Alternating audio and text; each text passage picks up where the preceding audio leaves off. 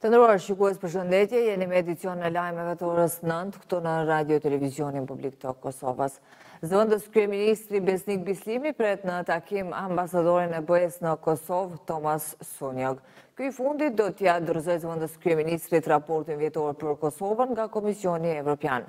Bislimi dhe Sunjog pas takimit do të mbajnë konferencë të përbashkët për medie, ku do t'i prezantojnë të dhënat e raportit për vendin për vitin 2023.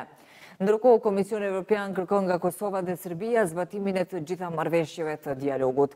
Në draftin e raportit të progresit i cili zyrtarisht publikohet sot, shprehet keqardhje për faktin se palët nuk kanë nisur të kryejnë obligimet e tyre. Kosovës i kërkohet themelimi i Asociacionit të Komunave me Shumicë Serbe në bazë të propozimit të njëzet e një tetorit, ndërsa nga Serbia kërkohet që ta mbështesë këtë proces. I dërguari i posaçëm i BE-së për dialogun Kosovë-Serbi, Miroslav Lajçak, përmbylli dje vizitën dyditore në Kosovë, duke zhvilluar takime me përfaqësuesit e partive opozitare dhe me ambasadorët e akredituar në Kosovë, me të cilët biseduan për draft statutin e Asociacionit të komunave me shumicë serbe. Kryetari i PDK-së Memli Krasniqi dhe nënkryetari i LDK-së Lutfi Haziri thanë se nuk e kanë parë draft dokumentin, ndërsa i kërkuan Kurtit që ta bëjë publik atë. Por ishte lideri i AAK-së Ramush Haradinaj i cili tha se u është prezantuar draft statuti dhe se të njëjtin e ka lexuar ai në tërësi. Ndërsa kryeministri Albin Kurti tha se me datën njëzet e katër tetor ia ka dërguar vërejtjet për draftin e Asociacionit emisarit evropian për Dialogun Kosovë-Serbi Miroslav Lajçak, kreu i ekzekutivit theksoi se në takimin e fundit në Bruksel u është thënë se çështja për normalizimin e marrëdhënieve është urgjente, ndaj ka pranuar të nënshkruajë. Po ashtu Kurti tha se nuk mund të flasë për vërejtjet lidhur me draftin, pasi ashtu i është kërkuar ndërsa shtoi se drafti i ri i BE-së është pakrahasueshëm më i avansuar se marrëveshjet e mëhershme.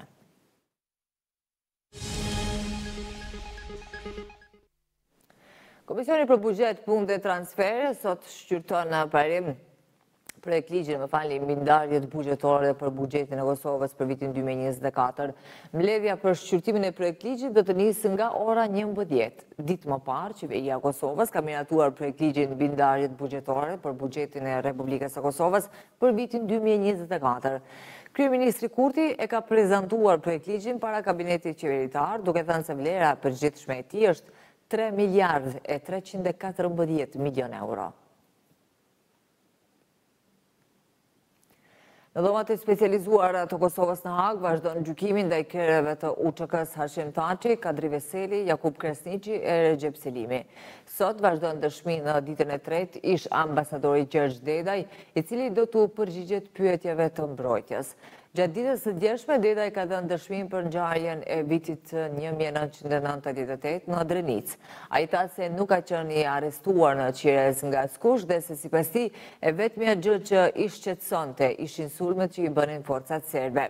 Dedaj tha se qëllimi i kësaj vizite në Drenicë ishte për të parë terrorin serb që bënte në ato zona, Serbia. Gjatë kësaj jave do të vazhdojë fushata e informimit për liberalizimin e vizave për Kosovën. Kampanja ndërgjegjësuese vazhdon me Malishevën. Nga data një janar i vitit të ardhshëm, qytetarët e Kosovës do të mund të udhëtojnë drejt zonës Shengen pa viza për qëndrime afatshkurtra. Udhëtimi pa viza nënkupton se mund të udhëtohet lirshëm, por jo edhe të punohet. Parlamenti Evropian miratoi në muajin prill të këtij viti vendimin për liberalizimin e vizave për qytetarët e Kosovës, me çka edhe procedurat vendimmarrëse për këtë çështje u përmbyllën. Miratimi në Parlamentin Evropian ishte bërë pa votim, pasi nuk kishte asnjë kundërshtim.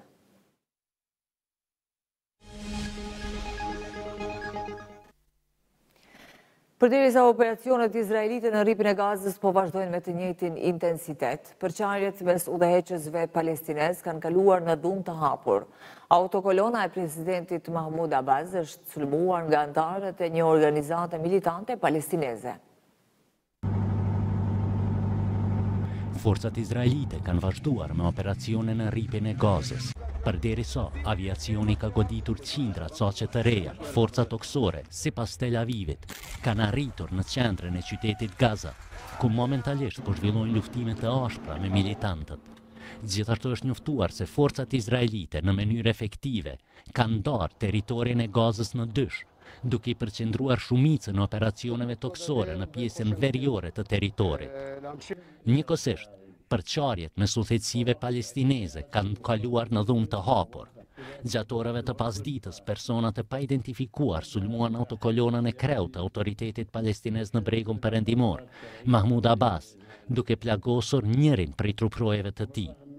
Organizata e quajtur Djemtë e Abu Xhandallit, degë militante e Hamasit, e cila dje i dha Abbas ultimatum 24 orësh që të ndërmerr veprime kundër Izraelit, ka marrë përgjegjësinë për sulmin e sotëm duke thënë se Abbas dhe Autoriteti Palestinez në Bregun Perëndimor po punojnë për interesat e Izraelit.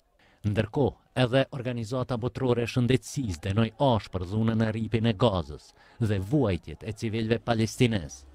Zëdhënësi i OBSH-së, Christian Lindmeier, duke folur në Gjenevë, tha se deri me tani në Gaza janë goditur më shumë se njëqind objekte shëndetësore dhe se niveli i vdekjeve dhe vuajtjeve në Rripin e Gazës është i vështirë të kuptohet. Ai shtoi edhe se në Gaza për çdo ditë vriten mesatarisht nga njëqind e gjashtëdhjetë fëmijë dhe asgjë nuk e arsyeton tmerrin të cilin e durojnë civilët në Gaza.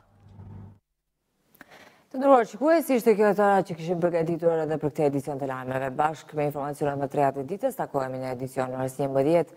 Faleminderit për vëmendje, mirupafshim.